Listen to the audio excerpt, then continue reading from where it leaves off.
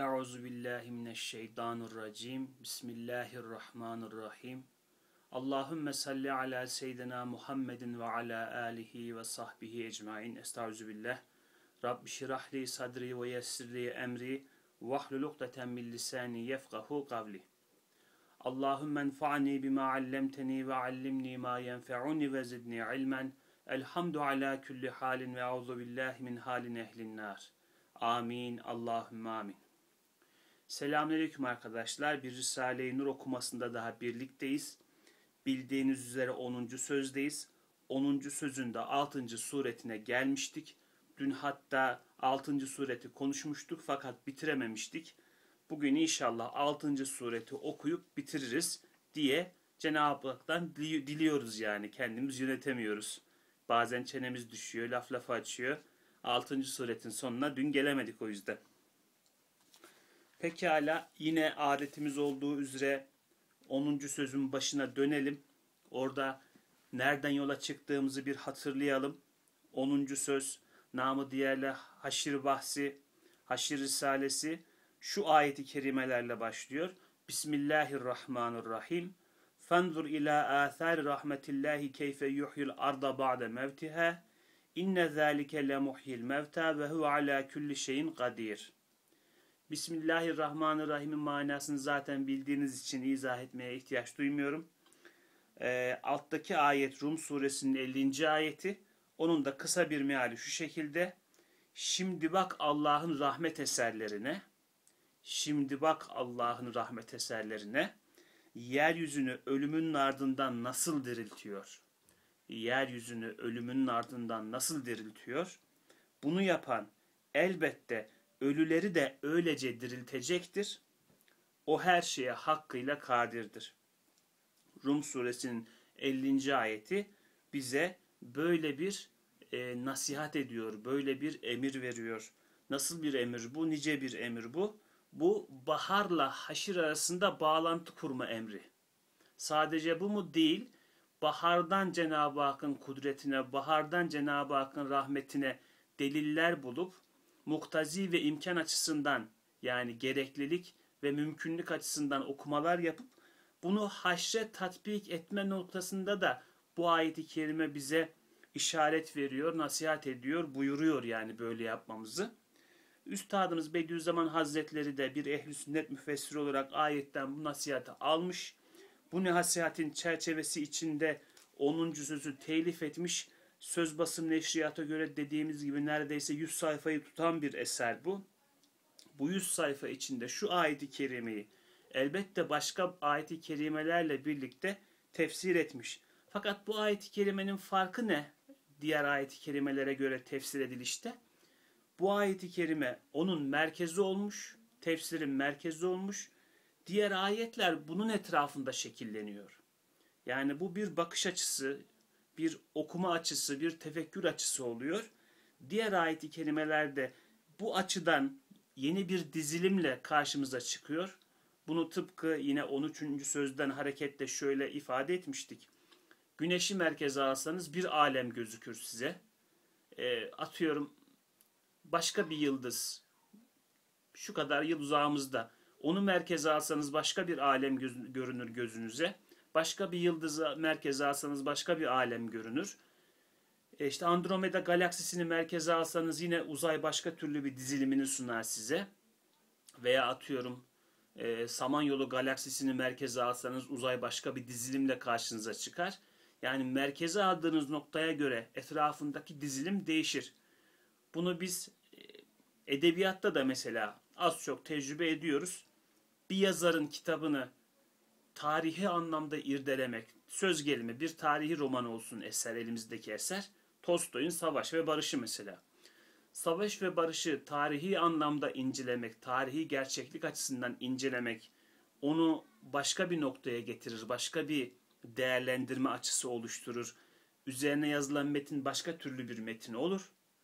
Sonra mesela Savaş ve Barış'ı Rus diline katkıları veya Rus dilindeki e, inkılabı açısından, Rus diline, Rus romancılığına kattıkları açısından incelemek ayrı bir e, bakış açısı oluşturur, ayrı veriler çıkarılır onun eşliğinde.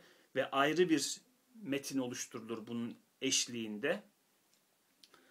Veya işte ne diyelim Tolstoy'un dünya şeyine etkisi, e, pardon Savaş ve Barış'ın dünya edebiyatına etkisi. Bu da bir bakış açısıdır. Başka bir perspektif sunar, başka bir e, okuma şekli sunar.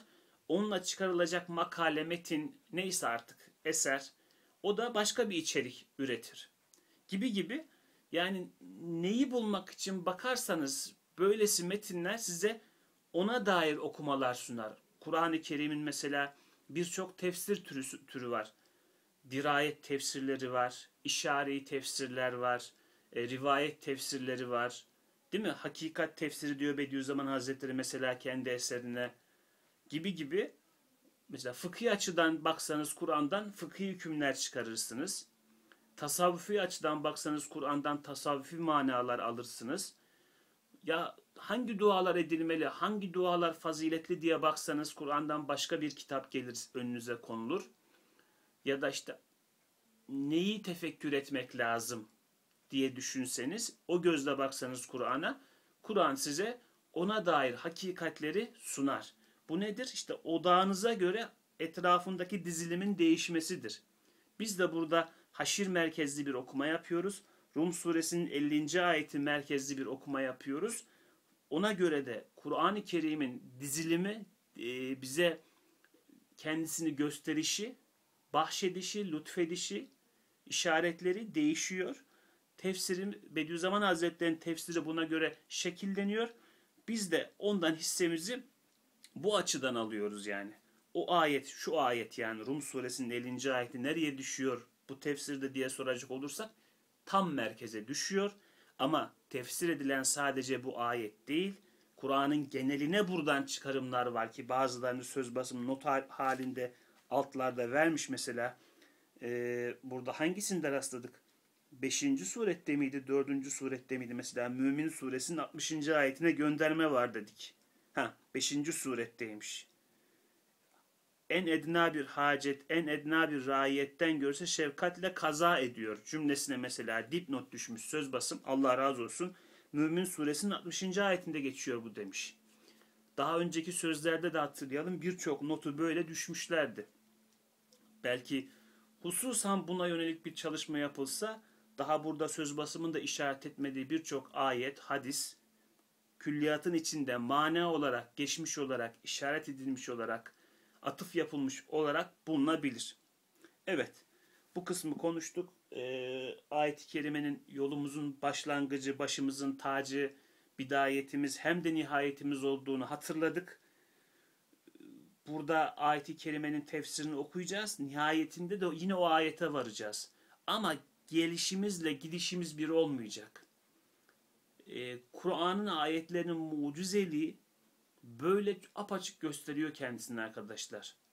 Mesela şu Haşir Risalesini okuyun. Sonra dönün o ayete tekrar bakın. İşte Rum suresinin 50. ayetine.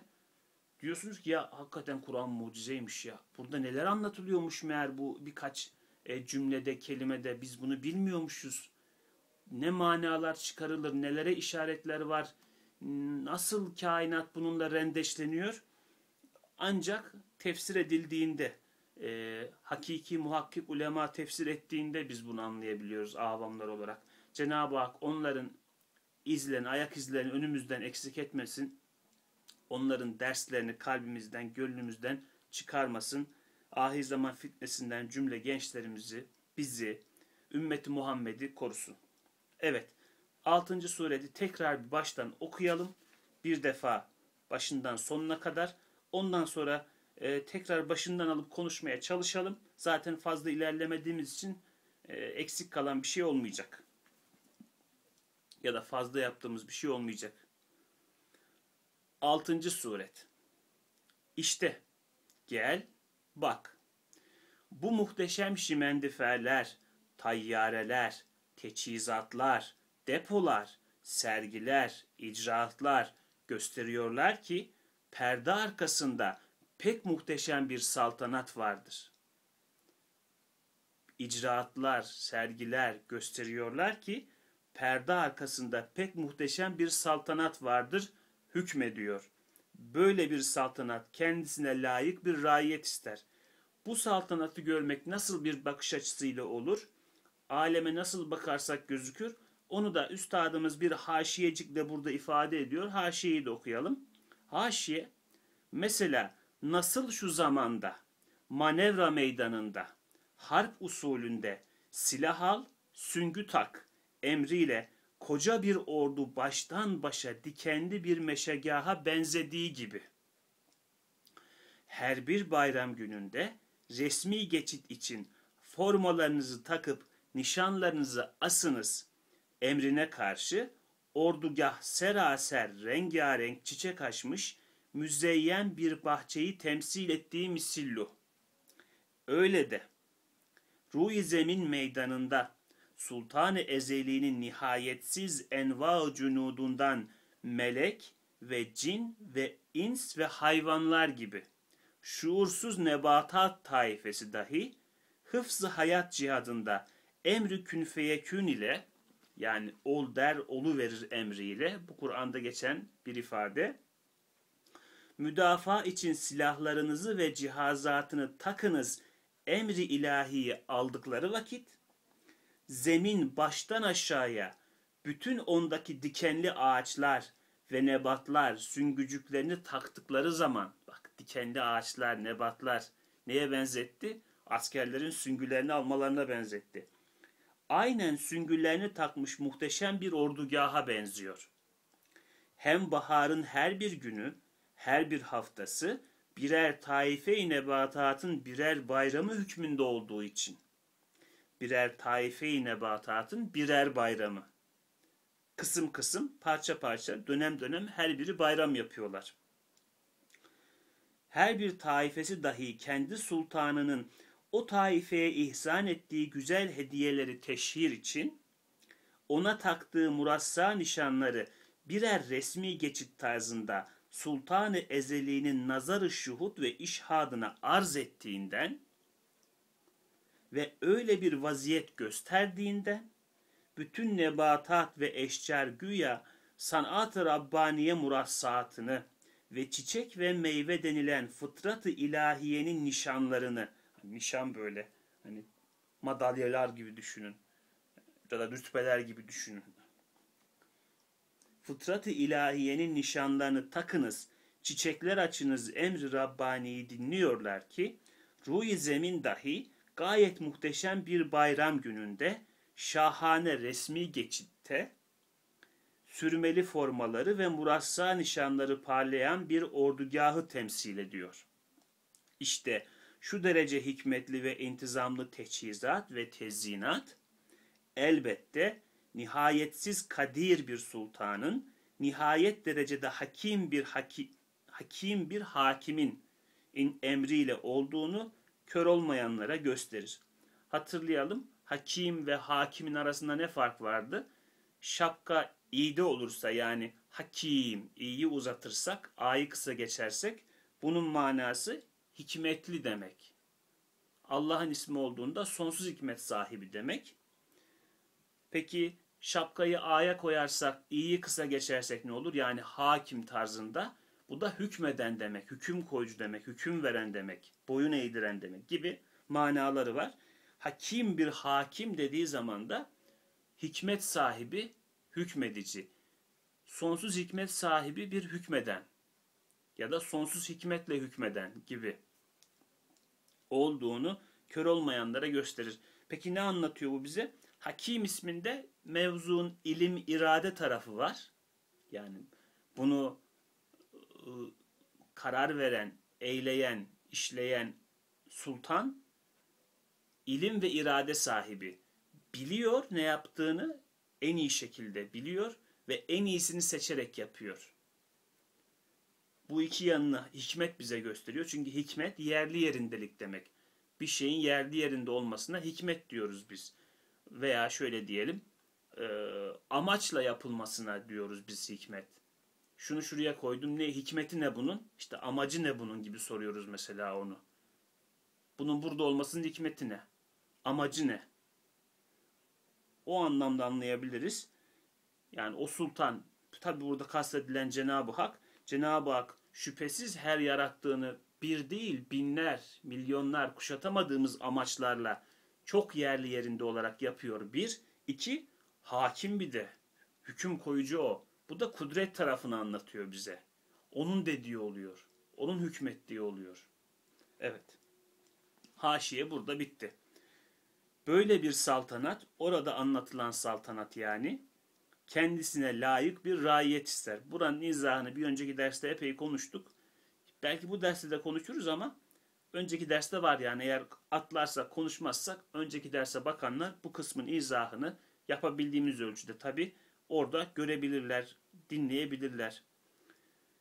Böyle bir saltanat kendisine layık bir raiyet ister. Böyle bir saltanat, öyle bir raiyet ister. Bunu biz işte şey açısından konuştuk bir miktar. Bir devlet düşünün. O devlet raiyetin de kendisi gibi olmasını istiyor. Veya şöyle söyleyelim. E, ayak uydurmasını, e, randıman vermesini, ne bileyim eğitiminin yüksek seviyede olmasını, fayda sağlamasını ister. Değil mi? Mesela diyelim Amerika bir yeri işgal ediyor. Hemen orada okullar açıyor bilmem ne yapıyor. Ne için? Kendisine lazım adamı yetiştirmek istiyor orada. Mesela bizim ülkemizde de bir sürü yabancı okullar vardır, açılmıştır. Ta Osmanlı'nın sonundan bugüne kadar kimisi isim değişikliğiyle falan devam etmektedir. Ne yetiştiriliyor orada? Hepsini öyle demeyelim ama öğrencilerinin. Ama okulu açanların amacı şu. Burada adı Ahmet, Mehmet, Selim, Muhammed olan ama içi batılı normlara göre şekillenmiş, ufku onların kızıl elmalarına yönelmiş gençler yetişsin istiyorlar. Ve aldıkları mahsul de az çok böyle oluyor yani. Bakıyorsunuz o okulların mezunları çok da yerli kalamıyorlar fikir olarak. E, yerli birer ne diyelim ya da Müslüman bedenli, e, isimli, cisimli ama içi oryantalist ruhlu karakterler oluyorlar. Bir devlet bunu istiyor mesela. Niçin? Kendisine layık bir raiyeti olsun. Bunun için. Benim hükmediciliğim bu. Raiyetim de şöyle olsun. Bunu modern devletler de yapıyor. Rusya işte Orta Asya'daki Türkiye devletler de yaptı bunu. Ee, İngiltere Hindistan'da yaptı bunu. Amerika Irak'ta Afganistan'da yaptı bunu vesaire. Veya bizim gibi e, çok çaktırmadan yönetmeye çalıştığı ülkelerde yaptı bunu.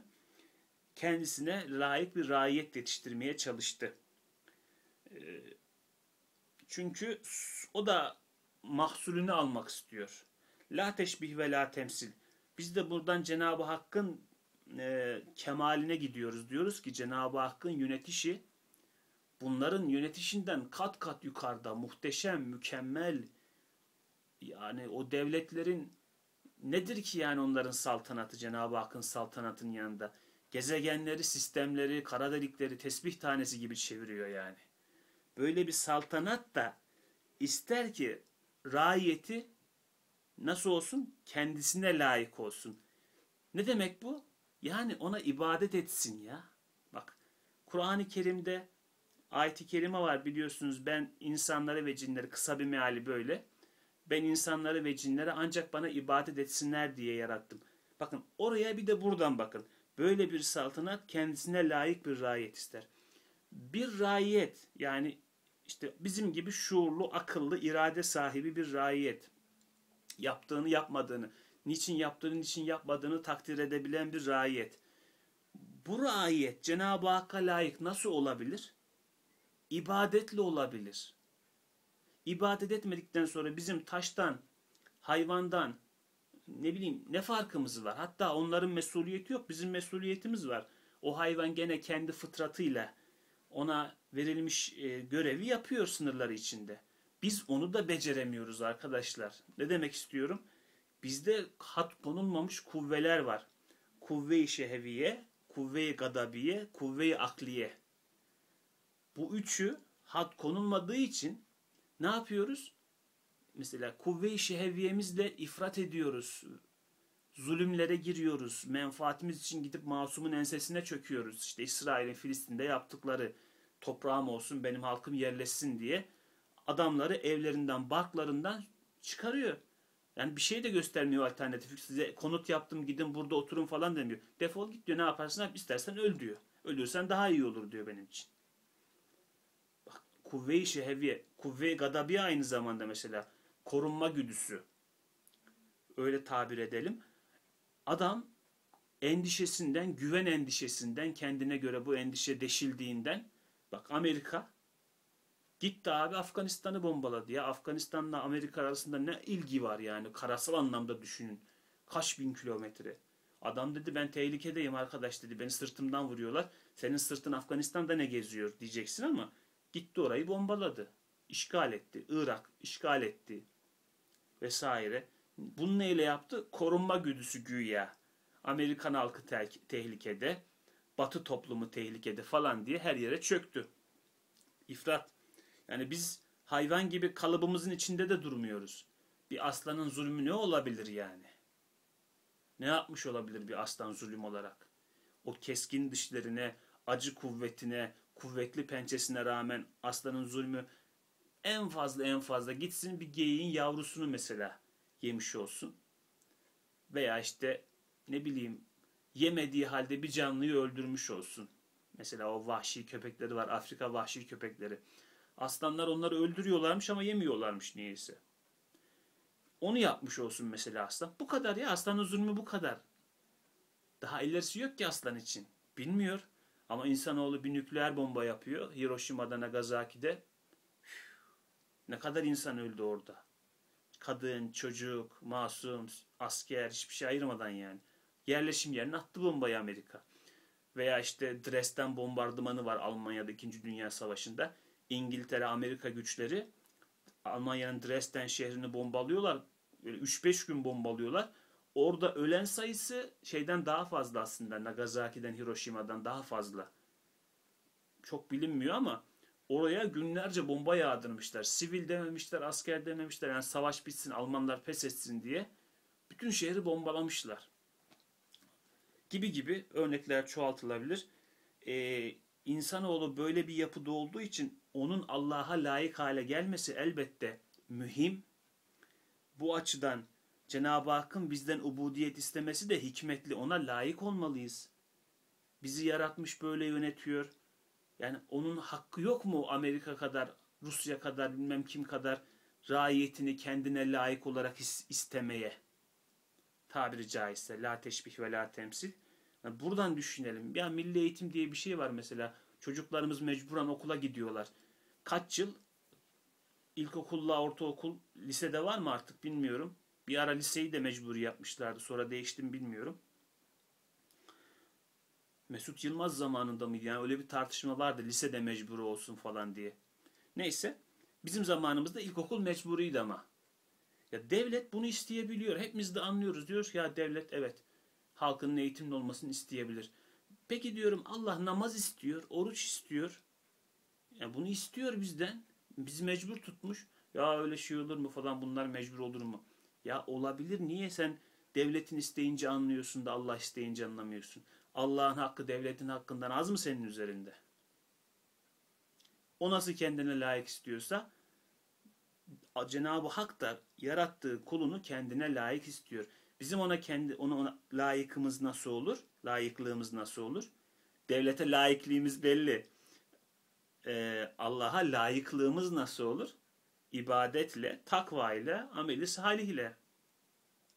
Yani imanla en başta tabii önce onu söylemek lazımdı. Eksik bıraktık. En başta iman, sonra takva, sonra ameli salih ve bunların yekününden şekillenen şey kulluğumuz. Cenab-ı Hak da bunu istemeye hak sahibidir arkadaşlar. Hiç tereddüt etmeyelim. Halbuki görüyorsun. Bütün raiyet bu misafirhanede toplanmışlar. Misafirhane ise her gün dolar, boşalır. Evet, bunu biliyoruz. Yaşıyoruz, görüyoruz. Daha bir salgında mesela bugün mü baktım, dün mü baktım 3,5 milyona yaklaşmıştı vefat sayısı. Bu da diyorlar şey hani devletlerin rapor ettiği miktar. Bir de devletlerin haberdar olmadı veya eksik raporladı veya haberi bile olmadı mesela.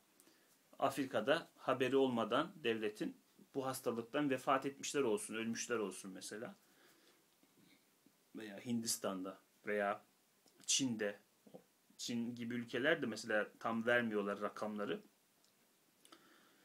Diyorlar iki katı 7 milyon bak bir yılda 7 milyon insan bir hastalıktan gitti. Bu cümle haksız mı yani? Halbuki görüyorsun bütün raiyet bu misafirhanede toplanmışlar. Misafirhane ise her gün dolar boşalır. Öyle bir dünya gerçekten. Hem bütün raiyet manevra için, manevra tatbikat gibi düşünelim. Hem bütün raiyet yani etba, teba, halk manevra için bu meydanı imtihanda bulunuyorlar. Meydan imtihan, imtihan alanı, sınav yeri gibi düşünelim. Meydan ise her saat tebdil ediliyor. Sadece biz değil, imtihan olduğumuz yer de sürekli değişiyor. Alem değişiyor. Hem bütün raiyet padişahın kıymettar ihsanatının numunelerini ve harika sanatlarının antikalarını sergilerde temaşa etmek için şu teşhirgahta birkaç dakika durup seyrediyorlar. Meşer ise her dakika tahavvül ediyor, giden gelmez, gelen gider. Bir daha okuyorum. Hem bütün raiyet, padişahın kıymetdar ihsanatının numunelerini ve harika sanatlarının antikalarını sergilerde temaşa etmek için şu teşhirgahta birkaç dakika durup seyrediyorlar. Meşher ise her dakika tahavvül ediyor. Giden gelmez, gelen gider. Bakın insan neden bu dünyaya çıkarıldı? Neden bir imtihana maruz bırakıldı? Neden doğrudan cennet cehennem alemleri ve insanlık olmadı da önce bir arada dünya alemi oldu. Burada işte ne kadar sürdüyse bizim yolculuğumuz 7 bin yıl, 8 bin yıl, 10 bin yıl, 100 bin yıl neyse. O yolculuğu tecrübe etti insanlık Adem Aleyhisselam'dan ta son insana kadar. Bu tecrübe yaşandı. Niye böyle oldu? Onu da burada söylüyor bak. Hem bütün raiyet padişahın kıymetdar ihsanatının numunelerini biz ne yapıyormuşuz? Padişahın yani sultanımızın tabii ki de burada murad edilen Cenab-ı Hak Cenab-ı Hakk'ın kıymetdar ihsanatının numunelerini yani Cenab-ı Hak neler bağışlayabilir? Neler bağışlıyor insanlığa ileride? Bunun numunelerini tadımlık deneme amaçlı böyle hani olur ya parfümler şu kadar şu kadar veya şampuanlar şu kadar şu kadar veya işte lokma lokma dağıtırlar sucuğumuzdan denemez misiniz bilmem şundan denemez misiniz diye uzatırlar böyle. Onun gibi Cenab-ı Hak ihsanatının numunelerini bu dünyada bize tattırıyormuş.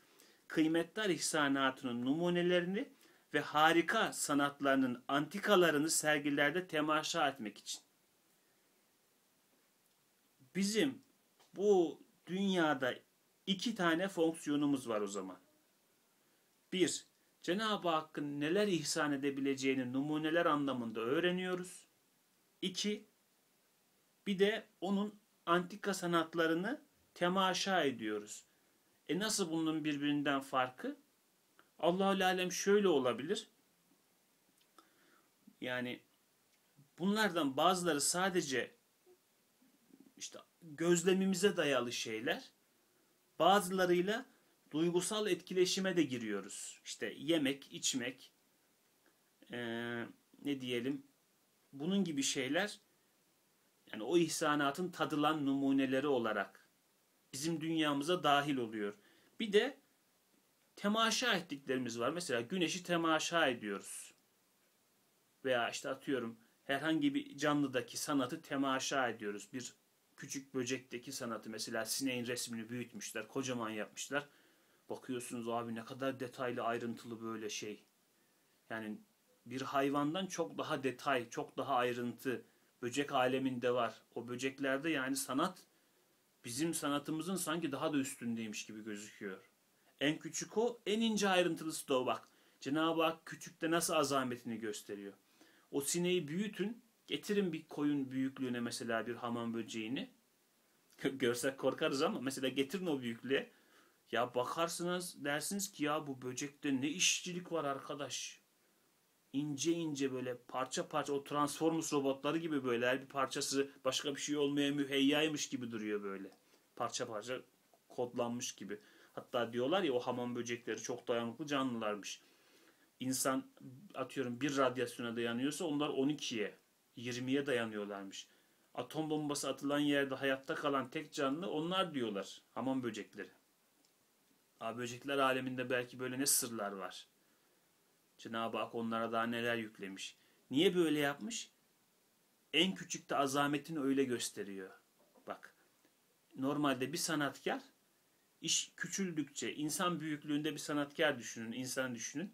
İş inceldikçe o insanın işi güçleşir. Nasıl o detayda o işi yapacak? Çünkü alan daraldı. Eller büyük, kudret şeyi küçük. Yani cihazlar ne kadar küçük de olsa hani elin bir şeyi var, kapasitesi var. İnce işçiliğin bir kapasitesi var. Küçükte sanat yapmak daha zordur. Büyükte rahat çalışırsın. Gir içine. İçinde çalış mesela. Taşın altına gir, altını oy. Git uzaktan tekrar bak, gel tekrar biraz daha oy falan. O daha kolay. Ama küçükte daha zor. Cenab-ı Hak küçüğü bu kadar itinalı, bu kadar detaylı yapmakla bize küçükteki şeyini gösteriyor. Bak hani bu benim için küçük büyük fark etmez. Bak küçükte bu kadar büyük işler yapabilirim ben. La teşbih ve la temsil. Kendi ustalığını Cenab-ı Hak o küçükler üzerinden böyle gösteriyor bize. Böcekte de böyle bir sanat var.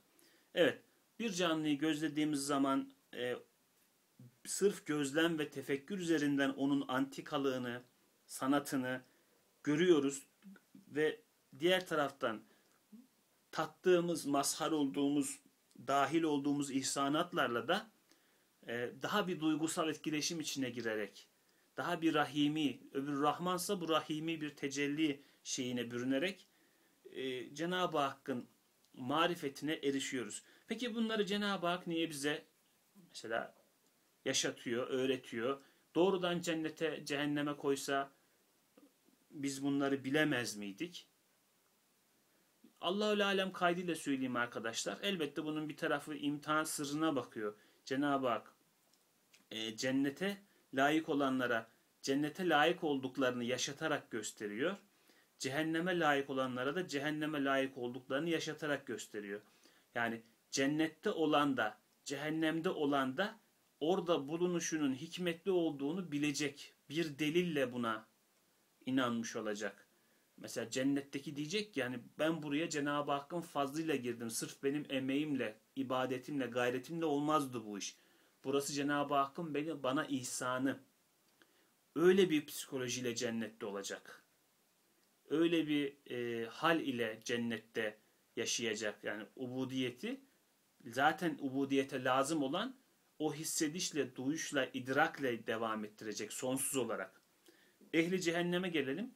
Ehli cehennem de biz biliyoruz ki Kur'an'da birçok ayette bu bize haber veriliyor. Hadiste de haberleri var. Hak ettiğini bilecek o cehennemi. Yani hatta diyorlar ya Rabbi işte Kur'an'da da var bununla ilgili ayetler. Bizi tekrar bir dünyaya gönder, biz bir işlerimizi düzeltelim, sana ibadet edelim. Tekrar gelelim buraya. Adam biliyor çünkü yani o nereye gittiğini, nereye hak ettiğini. Hatta orada ayet-i kerimede bir tanesinde diyor kısa bir mealiyle. Nerede o ortak koştuklarınız diyor. Nerede onlar gelsinler size yardım etsinler hadi. Onlar da diyorlar ki işte hepsi bizi bırakıp gitti. İşte diyor Cenab-ı Hak onlara kendi dilleriyle günahlarını, küfürlerini şey yapıyor. İtiraf ettiriyor. Nerede ortak koştuklarınız diyor. Onlar hemen faka basılıyorlar. Bizi bırakıp gittiler diyorlar. Demek ki koşmuşlar yani. Hah bak. Orada bilecekler. Ehli cehennem cehennemi hak ettiğini bilecek. Ehli cennet cennetin fazla ilahi olduğunu bilecek. Orada öyle bir psikoloji, burada böyle bir psikoloji. Eğer bu dar imtihan olmasaydı, doğrudan cennet ve cehennem olsaydı, insanın müşahede etmeden inanmayan yanları, yönleri, e, latifeleri ki o da var. Değil mi? Küçücük çocuk bile eli yanmadan çaya dokunursa elinin yanacağına inanmıyor. Şöyle bir dokunduğu zaman tamam diyor. Eli yandığı zaman bir ağlıyor. Ondan sonra ama daha dokunmuyor yani. Dersini almış oluyor. Böyle bir yan var mı? insanda var. Çoğumuz tecrübe etmişizdir. Yani bir dil yanması istiyor yoğurda üfleyerek yemek için. Fıtratımızda bu da var. Cenab-ı Hak bize böyle bir yan yön verdiği için elbette Cenab-ı Hak haşa sümme haşa zalim değil. Bize onların hakkı olan müşahedeyi tattırmadan cennete cehenneme sokacak değil. Elbette bu dünyada onu yaşatıyor, gösteriyor. O latifelerimizde, o hislerimizde, o aklımızda, o neyse onlar da evet diyorlar, tatmin oluyorlar. Biz bu süreci tattık, yaşadık, bu böyle olmalıydı. Cehennemlik cehennemin hikmetli olduğunu biliyor. Cennetlik cennetin hikmetli olduğunu biliyor. Bak cehennemlik cehennemin hikmetli olduğunu biliyor. Cennetlik cennetliğin hikmetli olduğunu biliyor. Cennetin hikmetli olduğunu biliyor. Yani o orasının hikmetini kavramış oluyor. Bu burasının hikmetini kavramış oluyor. Ben buraya niye geldim? Bu niye var? Bu bana zulüm falan diyemiyor yani. Diyecek bir şeyi kalmıyor artık malzemesi kalmıyor. Çünkü ona imkan verildi. Dünyada sınandı.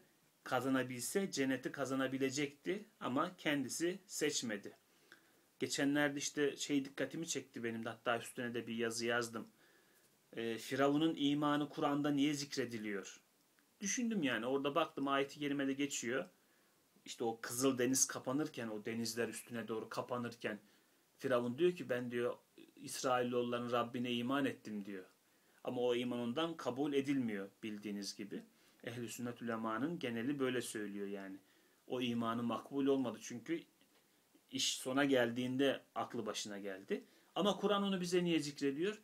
İman etse ederdi. Önünde bir engel yok. Cenab-ı Hak onu mecbur etmemiş. O son kerte geldiği zaman aklı başına geliyor. Yani edilirmiş iman diyor. Ama onu evvel etmek maslahat. Cenab-ı Hak engel koymamış. Edebilse o gün de eder, daha önce de eder. Kendisi seçmiyor onu. Ne zaman seçiyor? O zora geldiğinde seçiyor. O zaman da Cenab-ı Hak ondan kabul etmiyor o imanı. Nereden nereye geldik? Evet. Bu ihsanatın numunelerini tatmanın ve sanatların antikalarını temaşa etmenin insanın hikmetinin bir parçası olduğunu Cenab-ı Hakk'ın bunlar için dünyaya gönderdiğini burada gördük. Hem bütün raiyet padişahın kıymetler ihsanatının numunelerini ve harika sanatlarının antikalarını sergilerde temaşa etmek için şu teşhirgahta birkaç dakika durup seyrediyorlar. Meşher ise her dakika tahavvül ediyor yani değişiyor o sergi, sanat yeri, gösterilenler oradakiler her dakika tahavvül ediyor, değişiyor. Giden gelmez, gelen gider.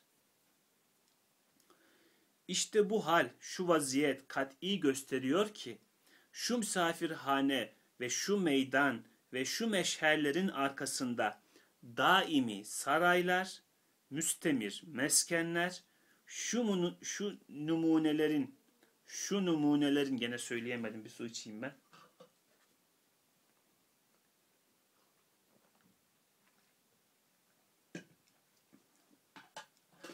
dilim kuruyunca yabancı yayın organına dönüyoruz. İşte bu hal, şu vaziyet kat'i gösteriyor ki, şu misafirhane ve şu meydan ve şu meşherlerin arkasında daimi saraylar, müstemir meskenler, şu numunelerin ve suretlerin halis ve yüksek asıllarıyla dolu bağ ve hazineler vardır. Demek burada çabalamak onlar içindir şurada çalıştırır, orada ücret verir. Herkesin istidadına göre orada bir saadeti var. Bir önceki derste demiştik yani Kanuni Sultan Süleyman gibi bir Hakan düşünün. Üç kıtaya yayılmış bir imparatorluğun e, yöneticisi. Emrettiği zaman 200 bin kişilik ordu sefere çıkıyor düşmesini istediği her kale düşüyor. Almasını istediği her şehir alınıyor. Böyle bir Hakan bir ferman yazdığı zaman düşünün ta İran'dan ta Fas'a kadar hükmü var o fermanın. Geçiyor. Şimdi biz böyle bir Hakan'ın o Hakanlığı bırakıp üç günlüğüne bizim köye muhtar olmasını kabul eder miyiz? Ya da teklif etsek kabul edeceğini aklımız keser mi? Ya Kanuni Sultan Süleyman'ın bırak o padişahlığı gel üç günlük bizim köyün muhtarlığı var onu yap desek tiz vurun kellesini der mi demez mi yani? Biz bunu hak etmiş olmaz mıyız? Olmaz mıyız? Yani olur muyuz? Olmaz mıyız? Oluruz. Niçin? Ya adamdaki potansiyele bak. Sultandaki potansiyele bak. Bir de ondan istediğin icraata bak. Ya da gelelim mesela dünyanın en ünlü Ferrari pilotu veya işte Formula pilotu. Çok iyi sürücü, 400 kilometre hızla giden arabada bilmem şunu yapıyor, bunu yapıyor vesaire. Adamı getiriyorsun, gel de bizim at arabasını sür. 3 gün. Gelir mi gelmez mi o adam o at arabasını sürmeye? Daha başka bir şey. Mesela adam çok kral, matematikçi. En ince hesapları bile yapabiliyor. Bilmem kaç bilinmeyen denklemlere kadar çözebiliyor. Adamı çağırdın getirdin diyorsun ki ya bizim ilkokulda çocuklara aritmetik öğret. 2 kere 2 4 eder. Çarpım tablosu öğret. Gelir mi gelmez mi? Arkadaşlar biz biliriz ki bir insanın potansiyeli yüksekse o daha aşağısına razı olmaz. İnsanda bile bu böyledir. Cenab-ı Hak kendisini anlamamız için bak bir numune de bunun içine bırakmış. Biz dedik ya daha önce biz Cenab-ı Hakk'ı bize bıraktığı numunelerden de tanıyabiliyoruz. Nasıl biz mülkümüzü kimseyle paylaşmak istemiyoruz? Mesela şu tarla benim. İkinci bir adam gelip yok yarısı benim derse ne oluyor? Niza çıkıyor bundan bir sürü cinayet çıkıyor yani eskiden o tarla meselelerinden o taşın değişmesinden işaret taşları vardı böyle tarlaların kenarında. O taşların yerinin oynamasından kan davaları çıkardı eskiden. E neden? İnsan mülkünü başkasıyla paylaşmak istemiyor.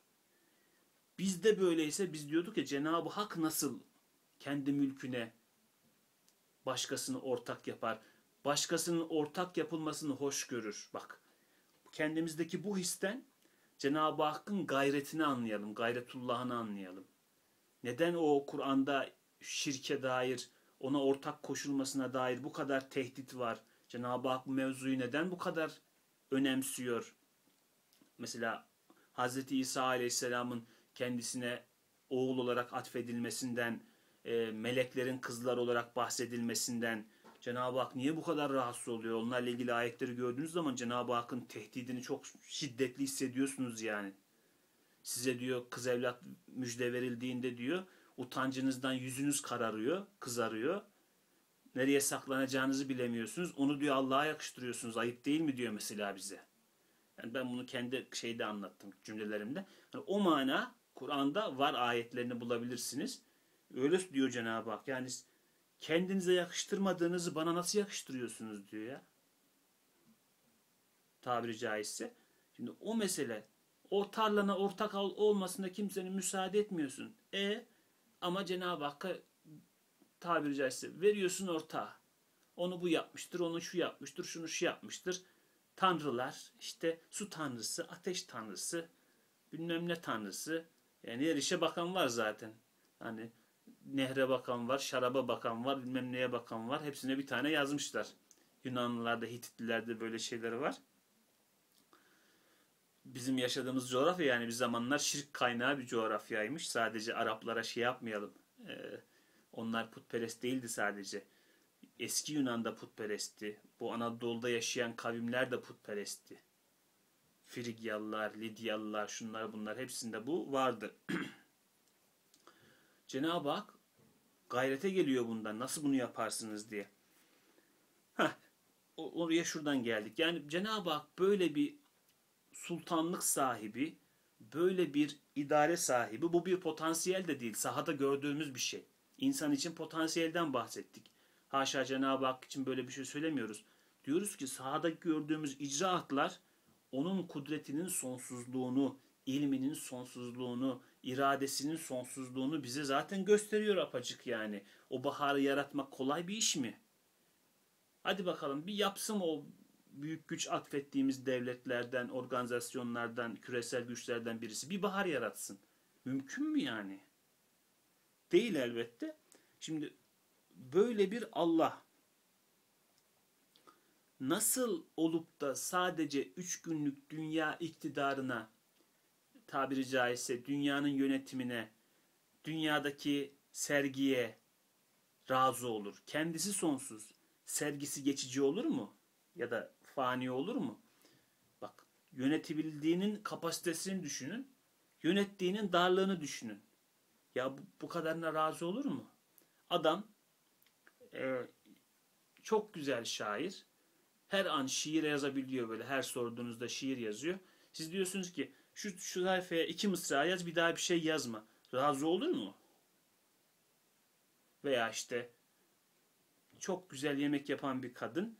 Diyorsunuz ki bir tabak pilav yap bir daha başka bir şey yapma. Razı olur mu kadın buna ya? Yeteneği var ortaya çıkmak ister o yetenek. Hakkıdır da yani. Sen ne karışırsın der ben yaparım der.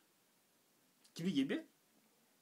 La teşbih ve la temsil. Cenab-ı Hakk'ın bu kainatta gösterdiği kudreti, ilmi, iradesi, esma-ül hüsnası, sonsuz tecellileri, e, onların bize ifade ettiği kuşatamadığımız o büyük tabiri caizse potansiyel baki bir saltanatının olmasını ister. Sadece bu fani alem olmaz o işte. Yani o iş bu fani alemle olmaz sadece.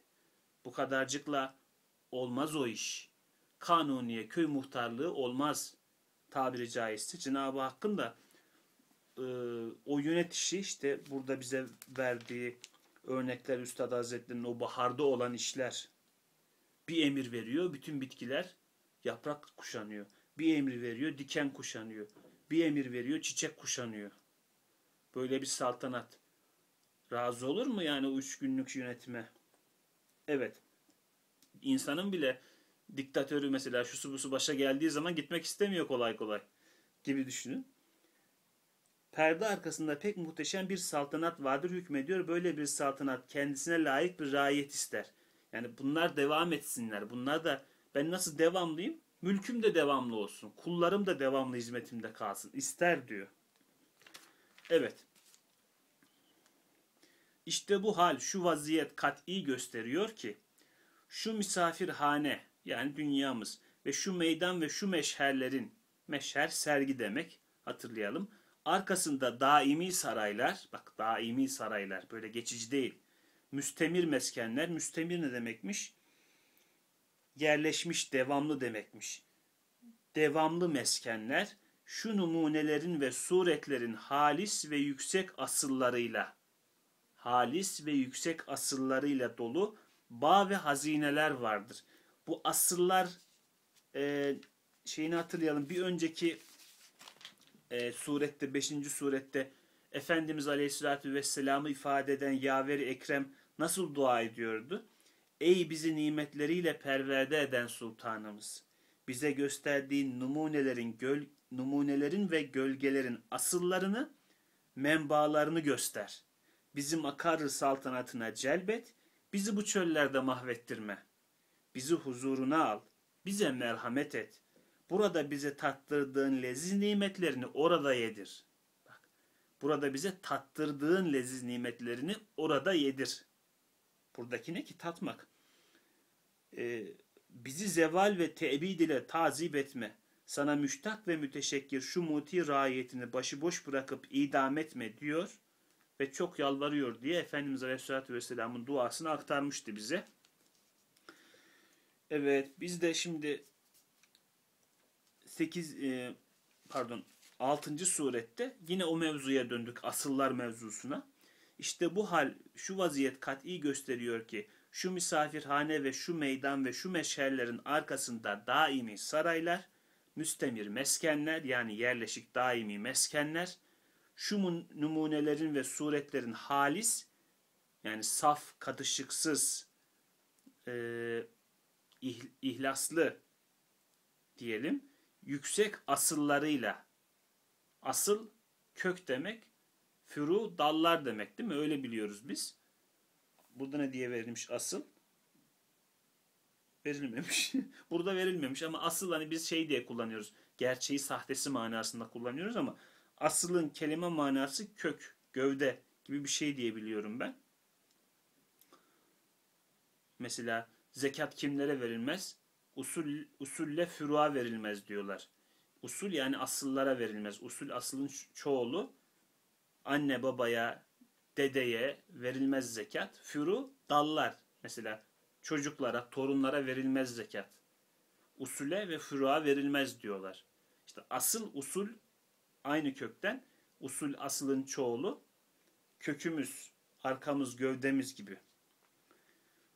Burada tadılanların yüksek asıllarıyla yani asıl köküyle gövdesiyle dolu bağ ve hazineler vardır. Demek burada çabalamak onlar içindir. Şurada çalıştırır, orada ücret verir. Herkesin istidadına göre orada bir saadeti var. Evet vaktimizde dolmak üzereyken metnimizin sonuna geldik. Evet arkadaşlar 6. surette 2 gündür şunu gördük. Son bir hatırlatma yaparak bitirelim. 6. suret bize Cenab-ı Hakk'ın kainattaki eserlerinde görünen yönetme e, kabiliyet, kabiliyet diyoruz, potansiyel diyoruz. Hep hatırlatıyorum. Bunlar aklımıza yanaştırmak için kullandığımız kelimeler. Cenab-ı Hak böyle kelimelerin e, sorunlu manalarından münezzehtir, mukaddestir. Yani siz bunları şey gibi düşünün, basamak gibi düşünün. Yani Cenab-ı Hak bu kainatta muhteşem bir yönetim gösteriyor. Muhteşem bir idare başarıyor. E, biz görüyoruz her an eserlerini müşahede ediyoruz. Öyle kanunlar var. Galaksinin ucunda da geçiyor, burada da geçiyor. Kütle çekim kanunu mesela. Yasalar. Bakıyorsunuz ta bilmem neredeki yıldız da o yasadan çıkmıyor. Siz de çıkamıyorsunuz. Oradan buraya ucu bağlı geliyor.